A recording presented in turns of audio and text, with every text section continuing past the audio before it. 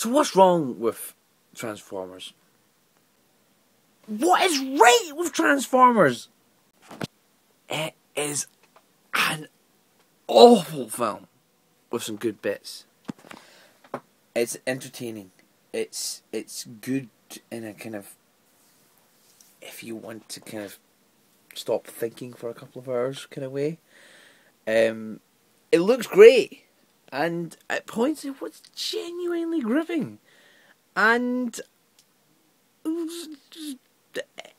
the 3D was actually impressive. And I won't often comment on 3D because I, I've, I've lost all interest in it, but uh, the 3D was quite good, and a lot of the action pieces were quite sort of wow, well, mm. um, but just the rest of it was so atrociously bad. I just, I just, I just, I just, can't like it whatsoever at all.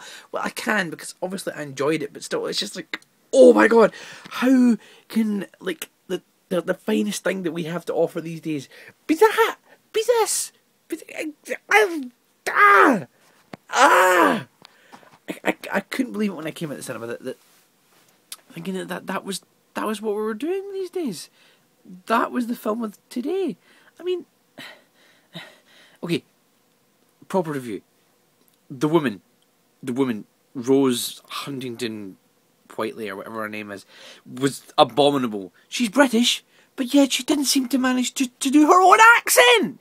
She, she didn't seem to be able to summon some kind of, you know, just to be able to speak. Speak! Oh, and God, I wouldn't even mention the acting. Shia LaBeouf was dull, uh, worse than usual because he was just kind of shouty like this just now. Like, well, I mean, how I'm kind of doing this just now. It's, you know, sort of always just kind of, no, no, but what about, oh, Bumblebee, help me, oh God, I'm so angry. And, um, because obviously he sounds like Fozzie Bear the Muppet.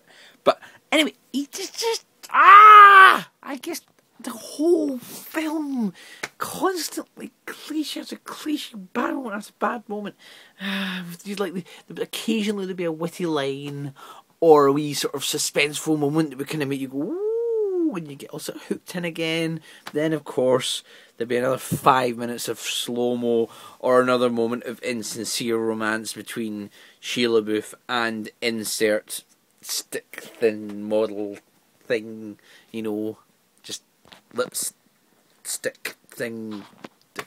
I mean, uh, what can I say about this thing? It was just, I, I, I really, it was very entertaining, but it is not something that I will be recommending to anyone unless you really do have a lot of time to spare and you really are looking for something that is a complete and utter no-brainer.